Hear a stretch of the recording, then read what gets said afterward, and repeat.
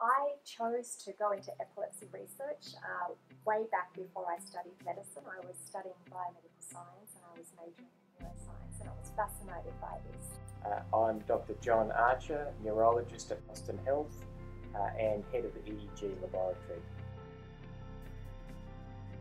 Uh, epilepsy is a condition of the brain uh, where there's abnormal electrical activity.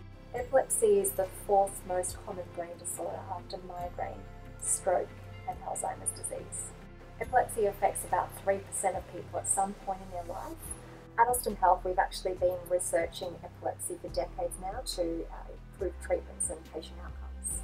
In 1995, uh, Ingrid Scheffer and Professor Sam Berkovic with their colleagues in Adelaide uh, discovered the really the first gene responsible for epilepsy.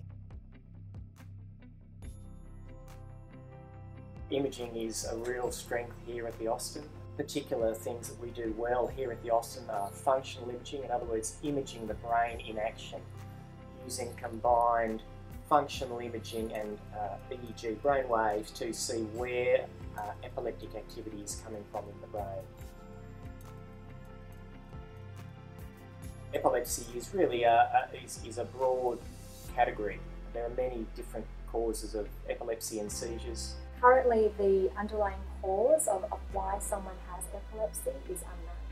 More than 70% of people become seizure free on medication and continue to lead a normal, active life, fully engaged, working, and of course, if they're seizure free, driving. At Austin Health, we're really excited to be um, afforded the opportunity to study a group of patients that have really severe epilepsy.